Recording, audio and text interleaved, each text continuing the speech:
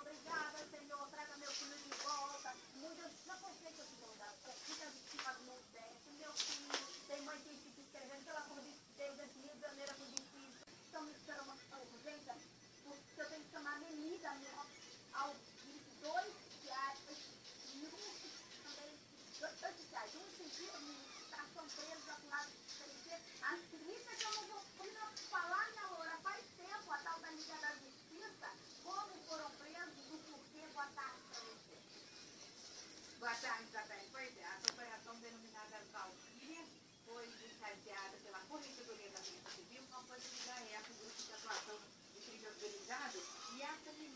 atuava lá em Campo Grande, desde